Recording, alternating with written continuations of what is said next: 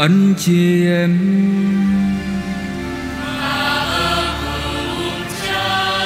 Tin mừng Chúa Giêsu Kitô theo thân Gioan.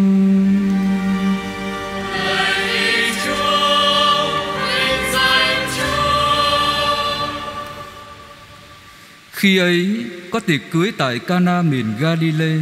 Trong tiệc cưới có thân mẫu Đức Giêsu. Đức Giêsu và các môn đệ cũng được mời tham dự. Khi thấy thiếu rượu, thân mẫu Đức Giêsu nói với người: Họ hết rượu rồi. Đức Giêsu đáp: Thưa bà, chuyện đó can gì đến bà và tôi? Giờ của tôi chưa đến. Thân mẫu người nói với gia nhân: Người bảo gì, các anh cứ việc làm theo.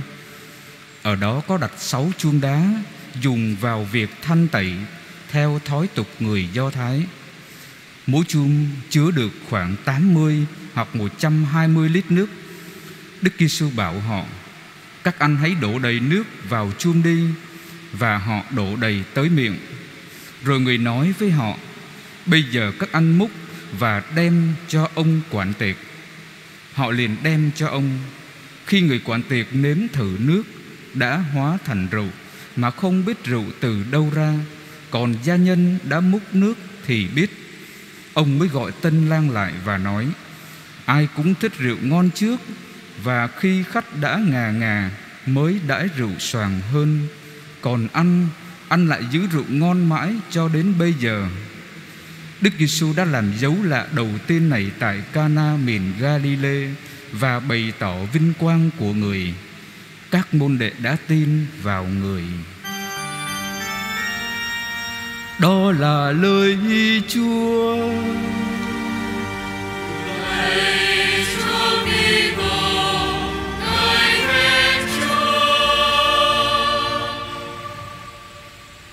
Thưa cộng đồng phụng vụ Tôi xin chia sẻ với anh chị em Bốn điểm trong phần phụng vụ lời Chúa Của ngày Chủ nhật thứ hai thường niên năm C.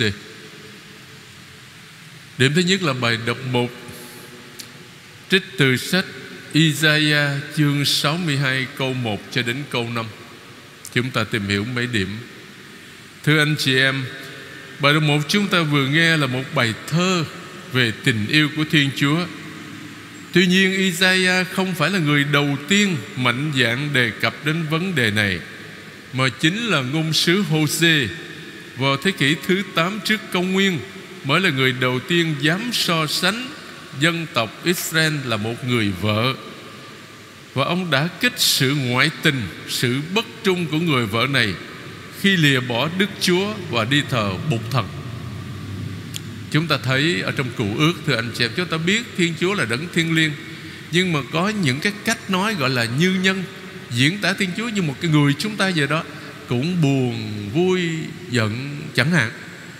Và những cái cái đó Rồi Thiên Chúa có tay Rồi có mắt, có tay Có chân, nghĩa là diễn tả Nói làm sao để người ta có thể hiểu được. Mà nếu mà bỏ hết cái cách nói đó đi Thì nó thành ra Nó sẽ không có sống động lắm. Và ở đây đó, Ngôn sứ Isaiah sẽ dùng cái ngôn ngữ tình yêu, Ngôn ngữ trong đời sống hôn nhân, Ngôn ngữ trong đời sống lứa đôi Để diễn tả tình yêu của Thiên Chúa Đối với Israel và đối với nhân loại. Anh chị em nhé. Cho nên anh chị em nghe hơi lạ tai nha sau đó thì các ngôn sứ Jeremiah, Ezekiel và Isaiah đệ nhị và đệ tam Mà bài đọc một hôm nay trích từ đó đã triển khai chủ đề tiệc cưới giữa Đức Chúa và dân riêng của người đã chọn, tức là dân Israel. Sau đây là một vài đoạn trích mà anh chị em cùng nghe.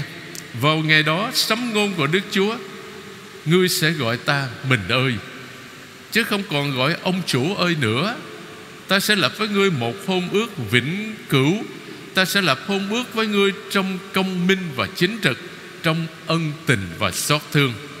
Hồ-sê chương 2 câu 18 cho đến 21 Và trong Isaiah đệ nhị, Quả thế, Đấng cùng ngươi sánh duyên cầm sắc Chính là đấng đã tác thành ngươi. Người vợ cưới lúc thanh xuân, Ai mà bỏ cho đành?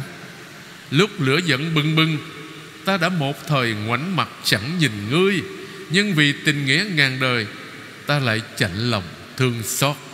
Isaiah chương 54 câu 5 cho đến câu 8 Tuy nhiên, Thưa anh chị em, Bản văn ấn tượng nhất về chủ đề này Là ở sách Diễm Ca.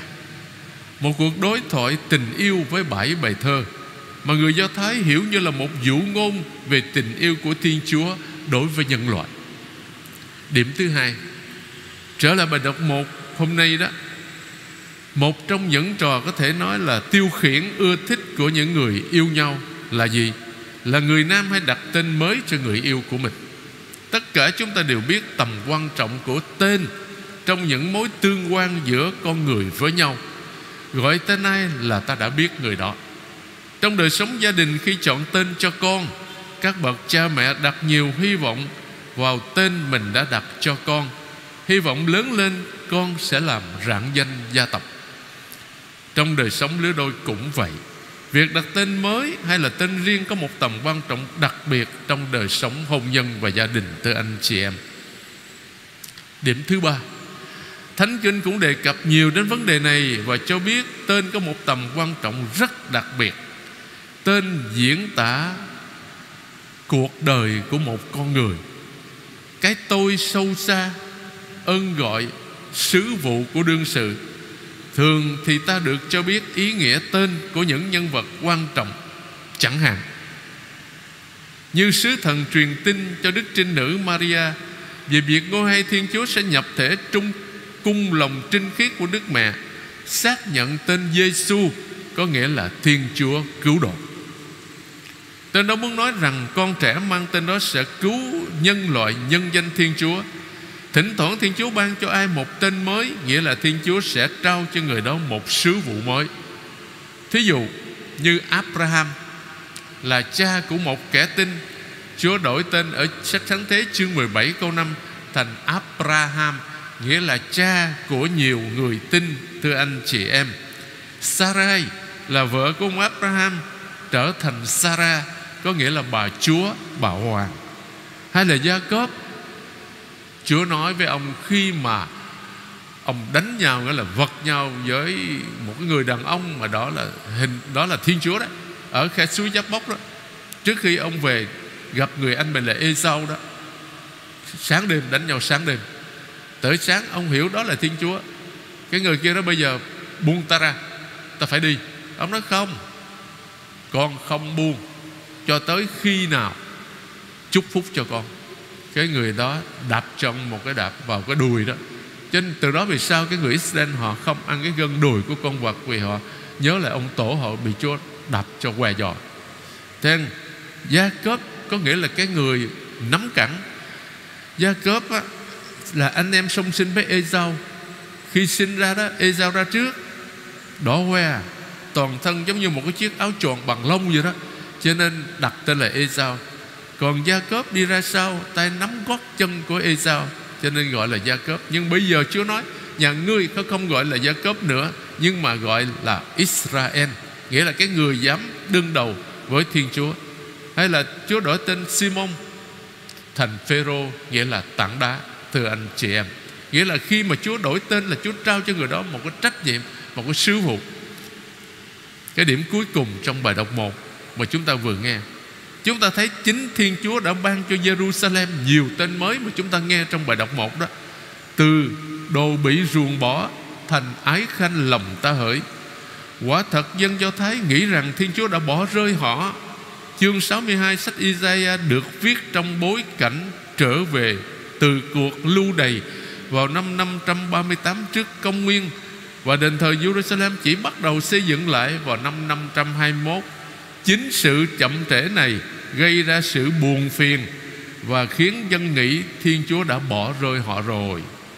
Họ nghĩ nếu Thiên Chúa quan tâm đến họ Thì mọi việc sẽ tốt đẹp hơn Và tiến triển nhanh hơn Để giúp dân Do Thái Thoát khỏi tình trạng tuyệt vọng Mà ngôn sứ Isaiah nhờ ân linh hứng của Thiên Chúa Mạnh dạn sáng tác bài thơ Về tình yêu mà chúng ta vừa nghe Trong bài đọc một, Như trai tài sánh duyên cùng thục nữ. Đấng tác tạo ngươi sẽ cưới ngươi về. Như cô dâu là niềm vui cho chú rể, Ngươi cũng là niềm vui cho Thiên Chúa ngươi thờ. Chúng ta sang điểm thứ hai, Là Thánh Vịnh Đáp Ca, Thánh Vịnh 95 mà chúng ta vừa nghe một cái ca viên hát, Là cái lời mời gọi Mọi người phải tung hô Thiên Chúa, loan báo những kỳ công vĩ đại của Thiên Chúa. Thưa anh chị em Người ta hát Thánh Vịnh 95 này trong đền thờ Jerusalem vào một thời kỳ mà chẳng có gì phấn khởi hết. Nhưng chính niềm tin của dân vào Đức Chúa khiến họ hát vang niềm hy vọng ở tương lai. Thánh Vịnh nói trước cho ta biết về lúc tận cùng của thế giới, ngày mà tất cả các dân tộc nhận biết Thiên Chúa là Chúa duy nhất, ngày mà toàn thể nhân loại đặt trọn niềm tin vào người. Đây là cảnh tượng mà Thánh Vịnh 95 mô tả cho chúng ta thấy. Chúng ta đang ở trong đền thờ Jerusalem. Tất cả mọi dân tộc, mọi quốc gia, mọi chủng tộc Vội vã tiến về phía ngoài đền thờ. Quảng trường đầy người. Người ta chen chúc trên các bậc thềm của tiền đường đền thờ. Đám đông đến từ khắp nơi Đến từ tận cùng thế giới. Tất cả đám đông khổng lồ Đồng thanh lớn tiếng tung hô Chúa là vua hiển trị. Điểm thứ ba là bài đọc hai thưa anh chị em. Trích từ thư thứ nhất của Thánh Phaolô Tông Đồ gửi tín hữu Corinto chương 12 câu 4 cho đến câu 11. Điểm thứ nhất, những dòng đầu tiên của bài đọc hai nhắc lại cho chúng ta nhớ chúng ta đã được rửa tội nhân danh Cha và Con và Thánh Thần như Thánh Phaolô đã nói. Thưa anh em, có nhiều đặc sủng khác nhau nhưng chỉ có một thần khí, có nhiều việc phục vụ khác nhau nhưng chỉ có một Chúa, hiểu ngầm là Chúa Kitô có nhiều hoạt động khác nhau dân vẫn chỉ có một Thiên Chúa Làm mọi sự trong mọi người. Hiểu ngầm là Chúa Cha, Thưa anh chị em. Từ ba ngôi chúng ta không thấy xuất hiện ở đây, Nhưng trong vài hàng chúng ta không thể nói đầy đủ Về màu nhiệm Thiên Chúa ba ngôi được. Và từ nay về sau, tình yêu đó Phản ánh nơi những hoạt động khác nhau Của chúng ta Ở trong đời sống giáo hội, thưa anh chị em. Thánh Phaolô đặc biệt nhấn mạnh chính tình yêu của Thiên Chúa Ba Ngôi thể hiện qua chúng ta. Chính thần khí duy nhất ấy làm ra tất cả những điều đó Và phân chia cho mỗi người mỗi cách Tùy theo ý của người. Điểm thứ hai Tại Corinto là cái thành phố cảng rất nổi tiếng ở trên thế giới. Nhưng mà anh chị em biết Bất cứ cái thành phố cảng nào trên thế giới Đều cái đời sống nó, nó lộn xộn lắm Nó xô bồ lắm anh chị em. Thì cũng như trong thế giới của Hy Lạp đó Người ta tôn thờ sự thông minh. Người ta mơ khám phá ra sự khôn ngoan. Khắp nơi người ta bàn tán về triết học. Đối với những người mơ tự mình khám phá ra sự khôn ngoan nhờ lý trí của mình, Thánh Phaolô trả lời, Sự khôn ngoan thật đó, Sự hiểu biết thật sự Không phải nằm trong các bài diễn văn tràn gian đại hải của chúng ta, Nhưng đó là ân huệ của Thiên Chúa. Người thì được thần khí ban cho ơn khôn ngoan để giảng dạy, Người thì được thần khí ban cho ơn hiểu biết để trình bày. Do đó, Thưa anh chị em, Thánh Phaolô nhắc nhở mỗi người chúng ta. Do đó đừng ai lên mặt kêu căng tự phụ. Khi chúng ta được ơn này, Được ơn khác Ở trong đời sống thường ngày, Vì đó là ân huệ, Đó là quà tặng của Thiên Chúa, Thưa anh chị em. Thánh Phaolô nói rõ, Thần khí tỏ mình ra nên mỗi người một, mỗi cách đó Là vì ích chung. Thưa anh chị em Người tín hữu Corinto khao khát những hiện tượng siêu nhiên, lạ thường. Nhưng Thánh Phaolô nhắc lại cho họ mục tiêu duy nhất, Đó là ích lợi của mọi người. Điểm cuối cùng của bài đọc thứ hai, Thưa anh chị em, Sự đa dạng trong đời sống của giáo hội Thật là tuyệt vời. Vì khiến chúng ta mỗi người theo cách của mình, Chúa ban cho chúng ta mỗi người một cái ơn riêng, Thưa anh chị em, nha. Không có người nào giống người nào hết. Nhưng mà chúng ta dùng cái ơn mà Chúa ban để phục vụ giáo hội, để xây dựng hội thánh. Đó là điều mà chúng ta cần thực hiện. Khiến mỗi người chúng ta theo cách của mình biểu lộ tình yêu của Thiên Chúa. Một trong các bài học của cái là bài học của bài đọc hai hôm nay đó mà Thánh Phaolô muốn gửi đến chúng ta, là dạy chúng ta biết vui mừng về sự khác biệt giữa chúng ta, khác biệt về chủng tộc, khác biệt về ngôn ngữ, khác biệt về ân huệ khác biệt về nghệ thuật và khác biệt về những phát minh. Điều đó tạo nên sự đa dạng, phong phú trong giáo hội và thế giới.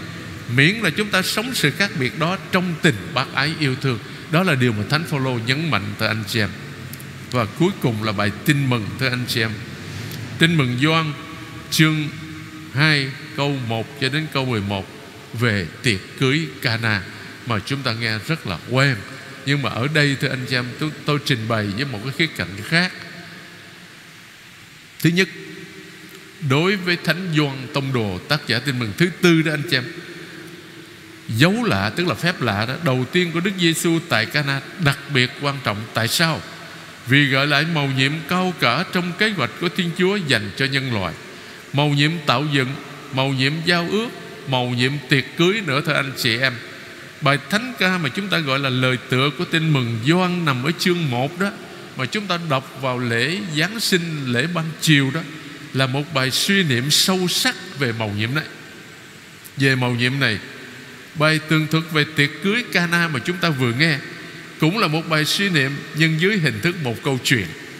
Vì hai bản văn này nằm ở phần đầu Của tin mừng Gioan, Tức là tin mừng thứ tư, Nên giúp chúng ta hiểu tất cả phần còn lại Của tin mừng thứ tư.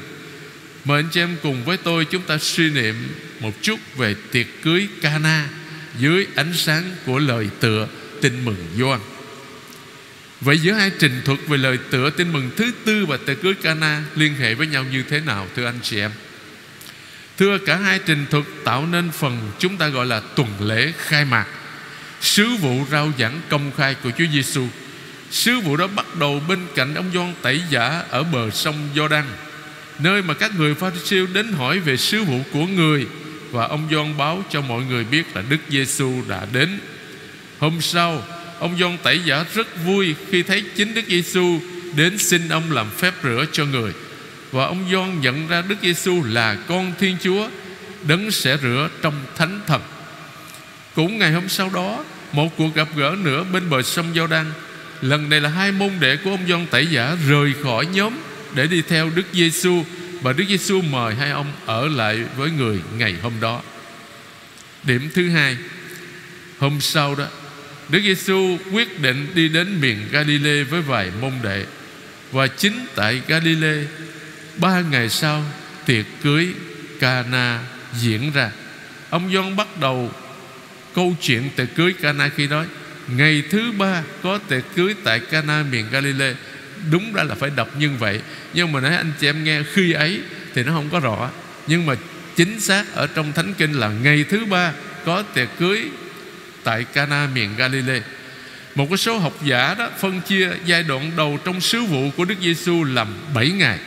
Đó là tuần lễ đầu tiên của cuộc tạo thành mới đối chiếu với 7 ngày của cuộc tạo thành cũ mà sách sáng thế quyển sách đầu tiên của bộ thánh kinh kể lại cho chúng ta.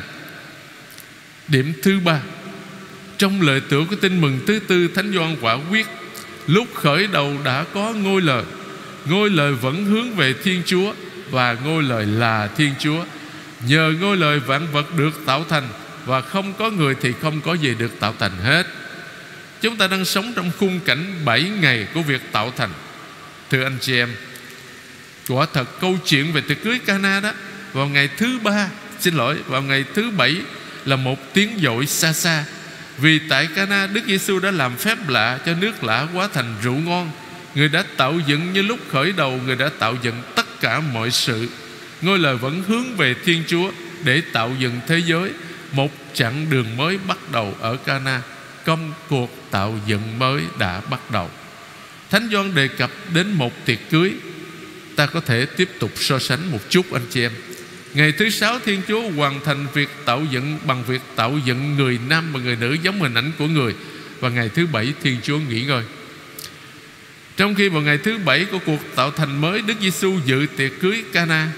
Các thánh giáo phụ nhìn thấy trong phép lạ tại Cana Một Thiên Chúa thực hiện lời hứa của người. Tiệc cưới giữa Thiên Chúa và nhân loại đã bắt đầu ở đó. Thưa anh chị em, Điểm thứ tư Chúng ta trở lại cái kiểu nói ngày thứ ba. Đây là một lời xác nhận thời gian Nhưng cũng là một sứ điệp, Một suy tư thần học, anh chị em. Các môn đệ mãi mãi ghi nhớ một ngày thứ ba, ngày Đức Giêsu phục sinh, Nghĩa là sống lại từ cõi chết. Đây là cách mà Thánh Doan muốn nói với chúng ta, Chính tại đó và chỉ tại đó, Tức là tại Cana đó Mà giao ước giữa Thiên Chúa và nhân loại Được ký kết vĩnh viễn. Tiệc cưới đã diễn ra, Đàn khác câu cuối cùng Đức Giêsu đã bày tỏ vinh quang của người, Cũng ám chỉ đến sự phục sinh Của người. Trong lời tựa tin mừng thứ tư, Thánh Doan đã nói, Ngôi lời đã trở nên người phàm Và cư ngụ giữa chúng ta. Chúng tôi đã nhìn thấy vinh quang của người, Chính tại Cana, mà lần đầu tiên các môn đệ nhìn thấy vinh quang của Đức Giêsu trong khi chờ đợi nhìn thấy vinh quang vĩnh viễn của Thiên Chúa nơi dung mạo của Đức Kitô chết và phục sinh. Và cuối cùng, thưa anh chị em dấu lạ đầu tiên, hay là phép lạ đầu tiên đó. Phép lạ, dấu lạ đầu tiên này gây nên một sự đổi mới. Trước hết là hữu hình, nước, hóa thành rượu. Rượu tượng trưng cho trật tự mới, nhiệm cục mới đối với nước. Nước chỉ những nghi thức của đạo do thái thuộc nhiệm cục cũ. Theo giáo phụ Origene và một số nhà chú giải thánh kinh dựa vào châm ngôn chương 9 câu 5 Đức khôn ngoan mời con người đến dùng tiệc, Thì rượu cũng tượng trưng cho đạo lý mới, Là lời Chúa Mà Đức Kitô dọn để khoản đãi với tư cách là Đức khôn ngoan Ngôi lời của Thiên Chúa, Dấu lạ đầu tiên này góp phần biến các môn đệ thành những con người mới, Những con người tin vào Đức Giêsu, Thưa anh chị em. Như tôi nói về chị em ở đầu thánh lễ đó Chúng ta có một người mẹ tuyệt vời. Ngoài những người mẹ gọi là trần thế của chúng ta, Chúng tôi có một người mẹ thiên liêng, Luôn luôn gọi là phù hộ chúng ta, Luôn luôn yêu thương chúng ta, Luôn luôn lắng nghe lời chúng ta khẩn nguyện. Và cái lời chuyển cầu của Đức Mẹ trước tòa Chúa Là đặc biệt hữu hiệu. Anh chị em có dịp đi hành hương Ở những trung tâm hành hương kính Đức Mẹ, Ở Việt Nam mình hay là ở nước ngoài, Bất cứ nơi nào anh chị em đều thấy Người Kitô hữu, có khi cả những người không phải là có đạo nữa, Cũng đến chạy đến với Đức Mẹ. Xin Đức Mẹ xót thương, Xin Đức Mẹ chuyển cầu cùng Chúa Để được ơn này hay là ơn nọ. Cho nên, thưa anh chị em, Tất cả mọi người chúng ta, Trước tiên Hãy biểu lộ lòng yêu mến Đức Mẹ. Đó không phải là bằng cách chạy theo các phép lạ, Nhưng mà biểu lộ lòng yêu mến Đức Mẹ Bằng cái gì? Bằng việc lần chuỗi mân côi, Thưa anh chị em bởi vì đó là cái cách mà có thể biểu lộ lòng yêu mến Đức Mẹ, đẹp lòng Đức Mẹ nhất, nha. Và cũng là cái cách lần Chúa mong coi giúp chúng ta thánh hóa đời sống, giúp chúng ta vững vàng trong đức tin giữa muôn vàng thử thách của cuộc đời. Cho nên chúng ta hãy chạy đến cùng người mẹ kính yêu của chúng ta để xin người phù hộ, chở che tất cả mọi người chúng ta trong cơn gian nan thử thách, nhất là trong cái cơn đại dịch Covid-19 vẫn còn đe dọa toàn thế giới.